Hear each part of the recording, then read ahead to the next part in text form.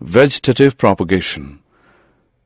Different methods of asexual reproduction are vegetative propagation, budding, fragmentation and spore formation. Let's discuss about them in detail one by one. When new plants are produced from the vegetative parts of a plant, the process is called vegetative propagation. It does not involve formation of seeds. Let us see how vegetative propagation works. Stem as a vegetative part of a plant. Have you ever seen buds at the nodes of the stem? These buds are called axillary buds.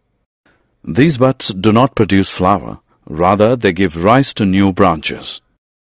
In some plants like rose, small portions of the stem containing small nodes are cut from the plant. These cut portions are called cuttings.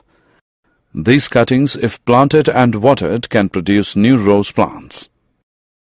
Similarly, stem cuttings of sugarcane can also be used for vegetative propagation of sugarcane. Do you know potato is the edible stem of a plant? It bears small scars on it called eyes. Well, these are the axillary buds. Each eye on a potato can give rise to new plants by forming shoot above and root below. Leaf as a vegetative part of a plant.